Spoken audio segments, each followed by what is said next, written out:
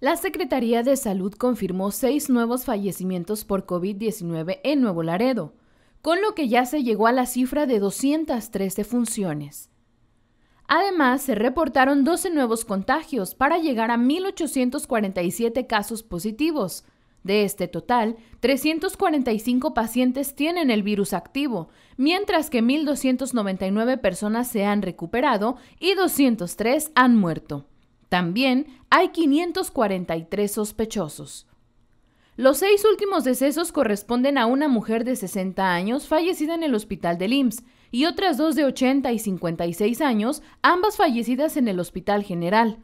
También un hombre de 60 años cuya defunción se registró en el Hospital General, otro de 59 que pereció en su domicilio particular y uno más de 69 años quien murió en el Hospital del IMSS.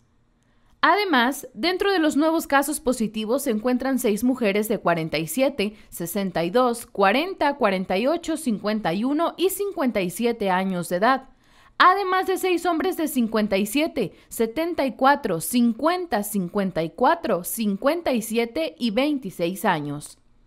Por otra parte, en Tamaulipas la cifra oficial asciende a 19.756 positivos, de los cuales 14.558 se han recuperado y 1.328 han fallecido.